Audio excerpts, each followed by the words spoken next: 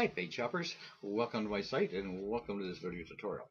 Seems to me I've said that like about 50 times in the last couple hours and hopefully I'll get this thing right now. Um, okay, this is a tutorial about the pen tool. Pen tool is one of those things that if you've tried it and you don't understand it, then you hate it. If you're trying to figure out what it does, then this is a good place to be. It's a vector tool and that make vector lines and vector curves. And a uh, nice thing about vectors is you can make them larger without losing quality. If you take a picture and make it larger, you're going to lose some quality along the way. So with vectors, uh, you can you can make it bigger. Now this particular little gecko-y thing uh, was the tattoo on the forearm of someone that I know. And I took a picture of the tattoo and uh, worked away at it over a few nights, and this is what I got. I quite like it. I actually add this onto the photograph of a, a horse. I put it on their neck as as the horse's tattoo, and the, the horse people quite liked it. Okay, so another thing you can do is you can ink a, a photograph. This started off as a photograph of a young girl, and uh, I thought I'm gonna see what I can do with this with the pencil. And uh, once I go to layers view current only, this was the original photograph. And I, I made some errors. I mean, I always make errors because I'm not an artistic kind of guy. But uh, I had fun doing it, and now I know how to do it. So that's uh, that's the second thing you can do with it. Another thing you can do is make little pieces of art like this. This is called this is my swoosh, and it started off with a big kind of orangey blob, and uh, I made a second vector with white as the chosen color and made it into a nice sharp point here and nice shape. And then I duplicated and moved and duplicated and moved, and this is what I've got now. So that's what uh, what you can do with it. You can also do some amazing cutouts.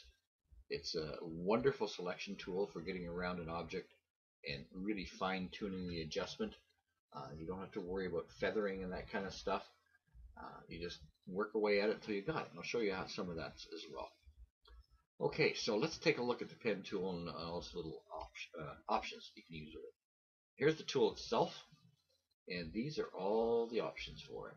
Now the important ones apply once you've got a, a curve or a line and you want to keep it, you hit the apply button, or you right click and hit apply. Mode, uh, this is the edit mode if you want to edit your curves. This is for doing lines and polylines. This one's for doing Bezier curves. This is freehand. And if you're working freehand, then the tracking comes into account. The higher the number, uh, the, the, less number of nodes there are in your freehand work, which sounds kind of odd, but that's the way it is. Uh, the three things here, connect segments, create on a vector, and show nodes. Uh, I always keep them connected or uh, checked. That's the word I'm searching for. Um, over here are the line styles that are available. There's a whole bunch of line styles. You can see them all here. And the one that comes with it has blunt ends. So I created another one called uh, round ends right here. And that's the one I use all the time. This is the width. Uh, the higher it is, the bigger, the thicker your line will be on your curve. Okay, so the way you use this beast is you take the pen tool. I've got it set for Bezier curves. And I'm just going to make a mark. Okay, that's a node. I'm going to come over here and make another one without lifting my pen, which I'm using a Wacom pen, or without moving the uh, letting go the left mouse button, then I can do this. You can see I can do all kinds of crazy things with this, and uh, I can drag it a long way. You can see I've got it, like my handles are almost going off screen, and there we go. We have got a funny curve, and I can I can do this all over again, and go over here, and I've got another funny curve. And I can just keep doing that. So I've now got this great big long strange curve.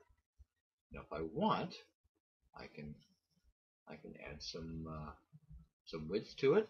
And because black's my foreground color, now I have this curve. And if I choose another tool, the, the vectory things will go away and the curves will stay. Okay, now that's not much of a shape, but you know, it's a shape. Okay, so I'm back to the vectors. Now I can, I've got a node there, and one I think around here somewhere. I've almost got rid of the things. Oh, there's one right there. Now, if I go in here, and uh, now we're in edit mode. If I go here and tap on that one, you can see it's got the lines. And I can take this and I can move it. And you can see now it's what it's doing is it's moving both sides of the node equally. Well, if I don't want that, if I just want to move, say, this side, without affecting this side, I have to change that node. Because there are different kinds of no nodes. There is a symmetrical, asymmetrical, cusp, and there's another one. I can't remember what the name of it is.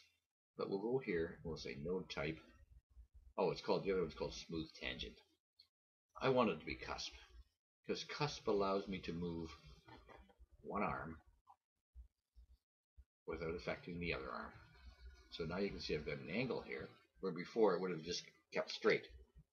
Now, if I wanted to make all my nodes cusp, the way, I, and that's what I do, uh, just because it makes life easier, I go to Objects, Edit, Select All, so the whole thing is selected. Now just right-click, Node Type, Cusp. Now they're all cusp nodes. Just click outside the box, and I can go in here and click there, and now I can I can bring that one in. I can bring that one in and uh, completely change the shape now. Now this one's got quite a, uh, an angle on there, so I'm going to fiddle around with that one a bit. And uh, maybe we'll move this one a bit. Okay. And if I'm not happy with the way it looks, I'll just grab the whole node and move it. Move it anywhere I want. So that's what you can do with this thing. Actually, I, when I was playing with this earlier, I, I, I thought I actually made a pretty good representation of the Loch Ness Monster. But, you know, it didn't quite work out. Now, if I want to add another node in here, anywhere, you can do that, of course. And what you do is you press the Control key. And once you get over top of the line, it says Add. There you go. And now this one is not a, uh, a cusp node. But we can change it, and we can change this. We can do that. I can right click and make it a node of uh, a custom node. And now I've got that. And so you can see all the all the different things you can get. For the creative amongst us, they can do some amazing things. I just move points around and have fun with it. Okay, so let's fiddle with the line styles a bit. Now, if I want that to be there, I can make that, have that there. And if I like the different color, uh, well, let's just go with the, well, let's cancel that. Let's just go off the swatches, or that one, or maybe that one. How about that one? You can do anything you want with it in there. The other thing is, you can see this thing here on the materials palette. The background color is is transparent. Now, the first time I ever read something with Paint Shop Pro that said make the background color transparent, it took me hours, hours, hours to find the darn thing. This is the button right here. It makes it transparent or not transparent. It would have been nice if it had little diagram that says this is how you do that. Anyways, they didn't. So here I am. Now I'm going to change, whoops, I'm going to make it not transparent. And uh, we've got that nice blue color. We'll contrast it with a a green. Okay. Okay, so now now we got that. It's not much of anything, but it's something. And so the background color will fill in the different parts of your lines. If I don't like the color, well, I can go to the gradients. And I can choose a gradient. Now there's a duotone. I'm not sure what that does. It's kind of a funny one, isn't it? Uh, we'll do that. We can repeat it. And say OK. There we go. We got some duotones. Actually, it looks like little pipes or something, doesn't it? Uh, if I don't like that one, I go over to a pattern. And there's all kinds of patterns that Paint Shop Pro is giving you. I suspect if you want, you can, uh, there's liquid satin. You could probably run your own. Okay, so there's some liquid satin on there. And you can still change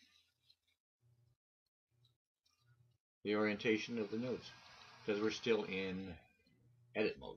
Now I can go up here and grab this guy, pull it down, and uh, now I've got that, whatever it is. No, this is an interesting pattern, isn't it? And I can also go back in here and say, okay, I like that pattern, but I want to have a bit of texture on it. And there's lots of textures as well. We'll give it an old cement texture. There we go. Look at that. So that's what you can do with these things. You can move them around, you can drag them, you can fiddle with them, you can modify them. Just it's very, very useful once you figure out what you want to do. If you haven't figured out what you want to do, then you know it can be a, it can be a problem. Whoops, I want to go to the start. Okay, I'm going to drag that down. Actually, I'm going to drag that over here. You can see it says start. And uh, I'm going to take this one, I'm going to move that. And I'm going to make it pointy. And, oh, I can't change it because it's there. Now that's the end. When I get up here close, it says join. And uh, there we go. Now the whole thing is all joined together, and that's kind of cool as well. So I guess the only other thing to look at maybe would be the uh, freehand tool. I don't use it very often, but it's you know it's, it's got its uses, I guess. And uh, I'm not sure why that thing is there. It shouldn't be. Well, let's just apply it. There we go. Okay, so let's add a new vector layer and grab the freehand tool. Now you can see what happens is there we go. Now I'm going to take make it background invisible and uh, make the foreground a different color, maybe darker there, and apply it. Okay, so I've got a nice little uh, swooshy thing going on there, and I can go back and see undo the vector, selecting none, and I can now modify these things. So if I wanted to make them all cusp nodes, I can again go to edit, select all, right click, node type, cusp. Now I can go to any one of these nodes and you can see that they're they're so close together. The arms are going to be small, okay? Uh, so there's that one there, and probably going to have to zoom in tight on them to see them. Okay, so now you can see the little pointer there, and now I can drag that side out, and uh, I can drag this one in, and that gives it kind of a funny little thing there. And this one is kind of a, it wasn't as smooth as I would like it to be there. It's a bit smoother now. So you, you can go through and you can modify everything. Come on, get over there. There we go. So we can come in here and, whoops, I didn't want to do that. Okay, where's there another node? There's got to be a node here somewhere. I know there is.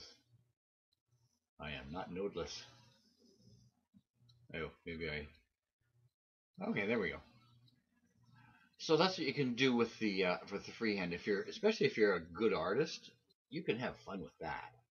Um, and, and this one here, I would probably move it out a bit. Maybe have it changing its shape a little bit more. Bring this one out. You see there's a couple close together there. There we go there. Now it's, it's changing the integrity of my uh, my little swooshy thing here. And uh, but that's okay. This is all a demo of that thing. And you can see how short that little little one is there because it's so close to this one. You get in there and you can always find the arrowheads by hovering over until you see that little two-headed arrow. Okay, so that's the uh, the freehand one. I've tried to draw some, uh, do some tracings with it, but I, I wasn't terribly successful. Um, and uh, I, I kind of gave up with it. I just stick with the Beziers. But that doesn't mean everybody has to stick with them because there's people a lot more talented than I am out there.